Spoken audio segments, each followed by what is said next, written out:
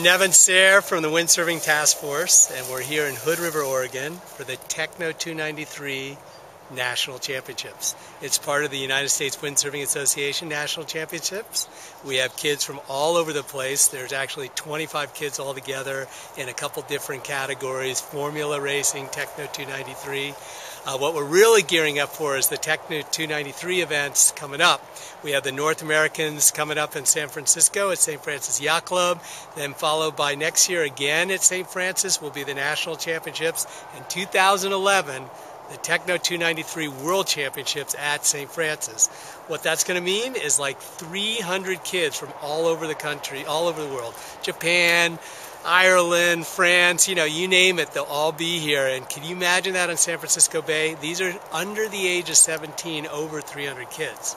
So we're trying to get it to go together in the U.S. We're building up momentum. We've got some young kids out here racing. We're a couple kids who are 11, 12 years old by the time that 2011 rolls around, they'll be right in the hunt.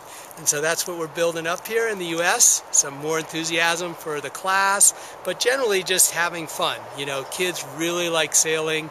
Kids really like having these new forms of sailing, new school. Some of that's windsurfing, some of that's whatever, but not just the same old thing. It's new energy, new life, windsurfing, cool stuff. Kids love it. So here we were in Hood River with four days of racing. It was super windy the first day, up to 40 knots, and just too much for the young kids. So we waited a day. The second day was still gusting up to 25, sometimes up to 30. So we went out on the Techno 293s and did slalom, downwind, around the buoys, kind of like downhill skiing uh, through the slalom gates, just like that. And a lot of these kids were just crashing and burning the, at the beginning. And by the end of the day, they were keeping it together, going around the marks. And some of the kids who just said, you know, I've never made so many mistakes in my life, but I had the best time of my life. That, that was just so gratifying to hear. And the kids just had a great time. So we did slalom the first day, and then the next two days we had course racing in a whole range of conditions, from some light air, sometimes getting as low as five knots, to up to 20 plus. And uh, we had some great racing in all the different age groups. There's under 12, under 15, under 17, and in this country we have under 19 as well. And um, you know, girls, guys, almost an equal number between girls and guys, by the way. And uh, it was just really fun.